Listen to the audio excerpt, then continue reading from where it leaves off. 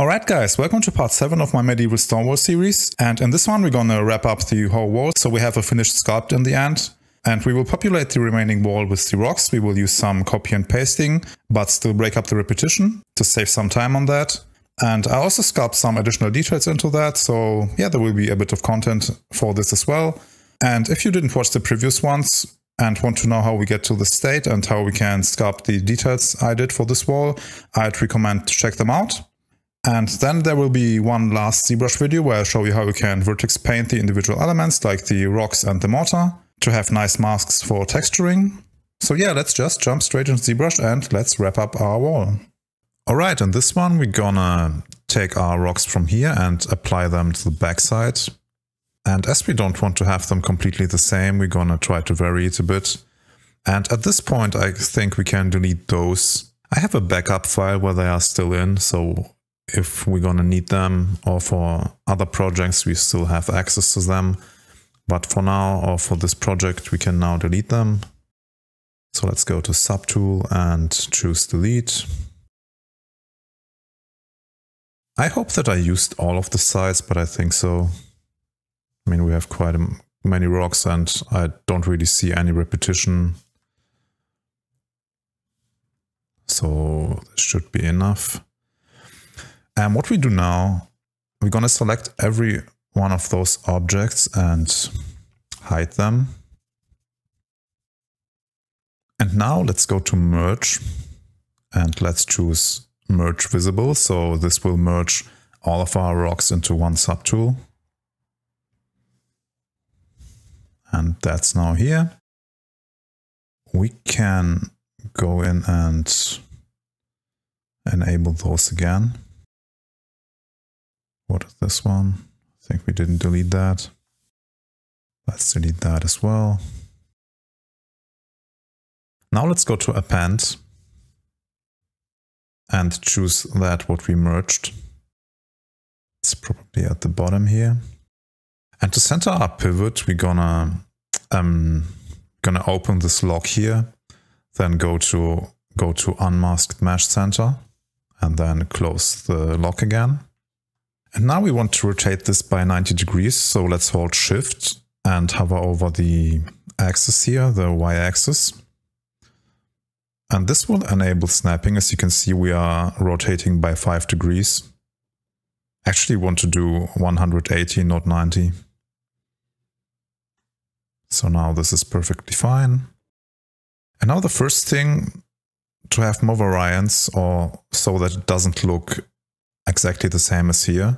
We're going to rotate that on the x-axis. So again, let's hold shift.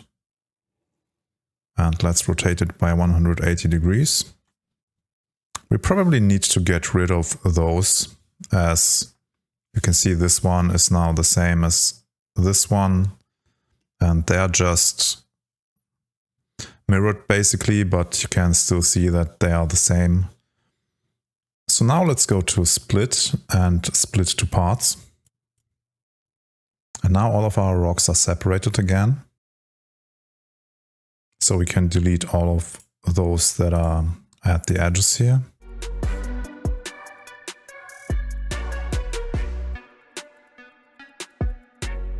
Let's do the same with the ones that are facing um, to the inner of the wall.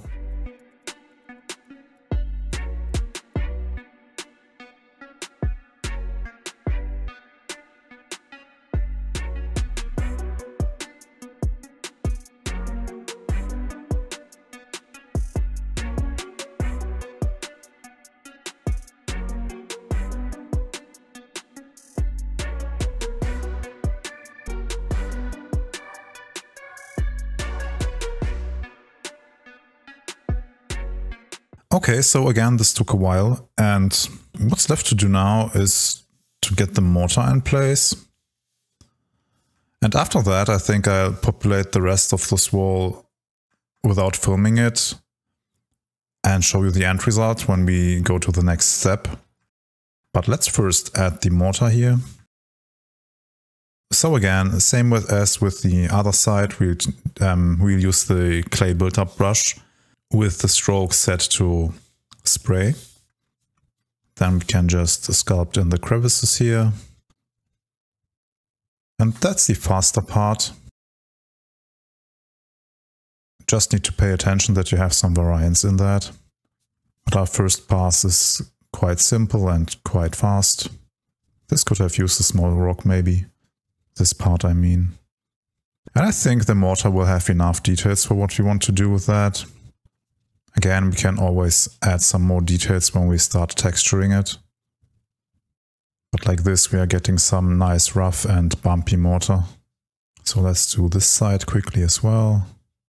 Not too much as we are still missing rocks here.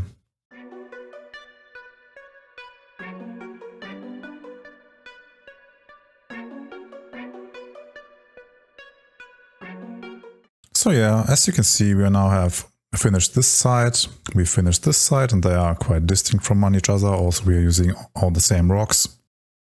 And I think for the rest of this video or tutorial, I'll finish this up because filming this will take quite a while. And I think it's really too much. So let's just make a cut here and I'll get back to you when all of this is finished. Okay, so I finally finished this part of the wall and at a glance you really can't see any obvious repetition and it will be even less when we texture it. Um, so what I did before, I merged all those rocks here into one part. So we can just um, make them invisible. Then we have this part. We can disable the visibility as well. And also this one so we basically do the same as we did with this part of the of the wall. So we disable everything that's visible but the rocks. And we'll just copy this over to the other side so we save a ton of work on this. So let's again go to merge and merge visible. And as you can see our poly count is quite high. And what we could have done, we could I have deleted all the inner parts, but I didn't want to do this and my PC can handle that, so that was quite okay for me. Anyway, let's then go back to this part and make it visible again. Then we can go to append and this should be that. Can just append this and pressing, pressing this button here will center the pivot Actually, we are on the wrong mesh. So now it's centered. Let's move it to the side. Let's just rotate it while pressing shift and do a 180 degrees rotation. Maybe let's, let's try to go to geometry and deformation and let's mirror it on all axes.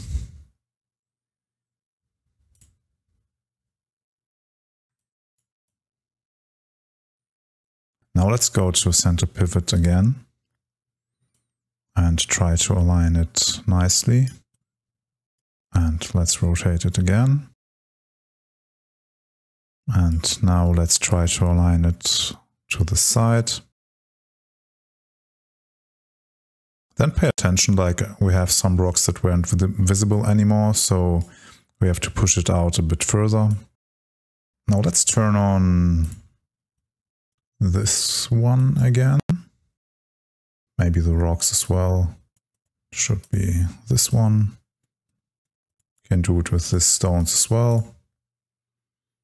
One is missing. Yeah, now what's left to do is to sculpt the mortar on this side.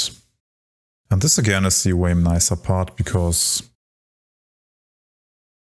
because applying those rocks can be really boring but sculpting the mortar here is quite fun actually. So we just do a quick pass. And as you already know how to do it, I will speed up the video now and show you what we do next. Okay, so at this point you can see how laggy it already is, but then we are also at 80 million polygons, so this is quite a high poly count. And yeah, what's left to do now is to populate this side and um, the other side as well.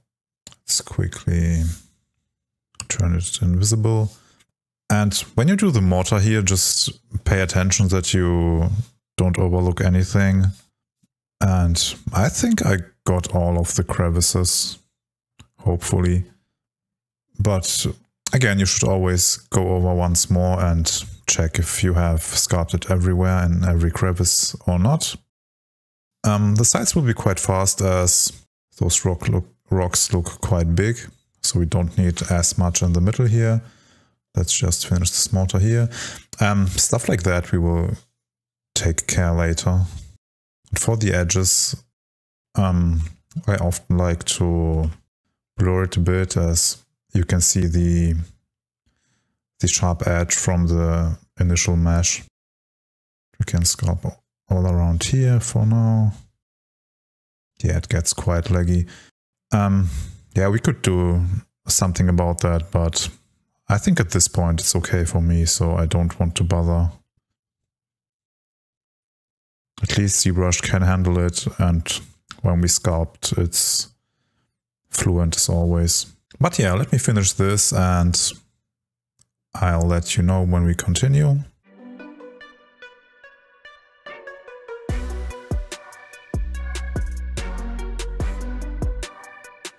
So now that this is finished, we ended up with a rather ridiculous poly count of 85 million polygons. And we still need to exchange those stones with this one, or with those two. And for the next time, I think it would be good to split these projects apart. So to do this column in one project alone and this one in one project alone, and maybe even those in a project alone. But it still worked, so anyway. And as you can see, we have some issues here as this rock isn't now completely over those stones here. So we'll have to slightly scale it up as well as this one so that they look the same. Let's actually go in here and delete those. And we can turn this on and turn on this column here. Oh, the rocks. Let's look at it from the top. Let's scale it like this maybe. So when you hold um, shift, you can scale it like that. And let's see if it now looks this, um, if it's now fine or not. Let's actually go in and make those invisible. And initially I wanted to have this so that this wall is used together with this wall, but I think it also would be nice to have it as a standalone wall. But that's actually hard to do. Um, so it's either you want to have it like that, so it's um, perfectly aligned to this one, or you want to have it differently. Maybe let's scale it. Uh, that's just one axis. So this looks better, I think. Question is, is it now the same? I didn't really pay attention. Let's quickly undo the scaling and on this one as well. So we scaled it by 1.1. So let's go here and scale it by 1.1 as well. And yeah, now we can basically just duplicate those again. I think the pivot is not quite right. Yeah. But I think that's not a big issue if you would have a wall made like that. It wouldn't be perfectly aligned like with the machine. Oh, this looks a bit much, maybe. I don't know, is this overhang too much or not? Maybe a bit. It's also not great in on this axis. But again, stuff like that wouldn't be perfectly aligned anyway. Let's maybe scale it down by... Yeah, this looks better, I think. Now we can just align it like that. Let's see if we'll have issues at this side. Let's duplicate this one.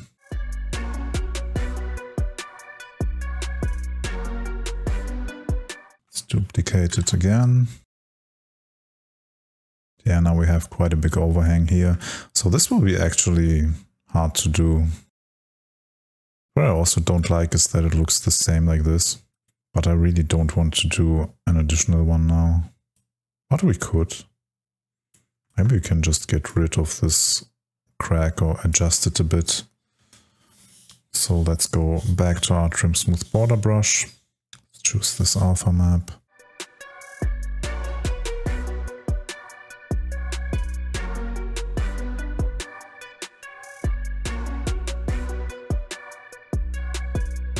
Not quite sure what to do with this overhang now. Maybe we could just make some smaller ones into these gaps. Let's see. Maybe we can get away with just scaling this down. I don't think so, honestly. Let's see. So this would be like that. Ah, that looks really stretched, so we'd have to sculpt it, sculpt new details on that. Actually, it might work well.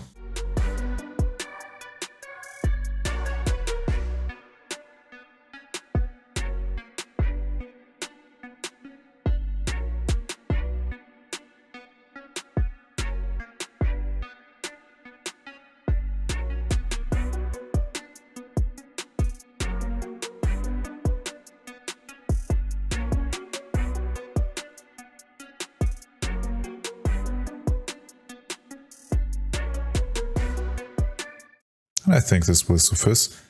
So let's go to geometry and lower the subdivision level to 1, maybe to 2. Let's delete the higher. Let's go back here. And does it fit?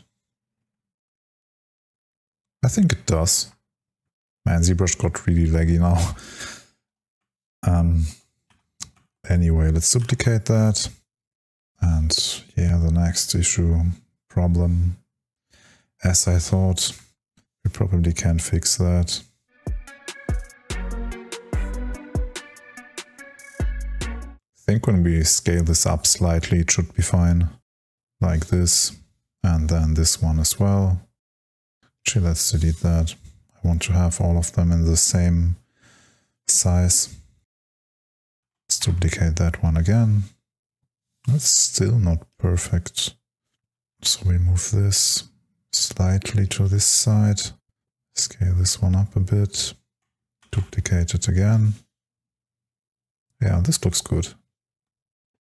And we can delete this one. Let's see how all of it looks together. Anyway, let's just eyeball it.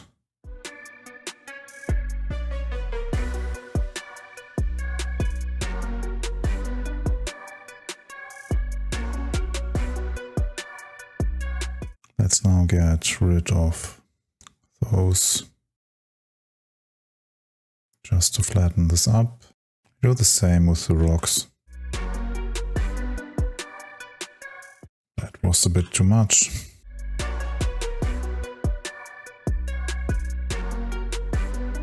Okay, I really should have split this into parts or remesh at some point.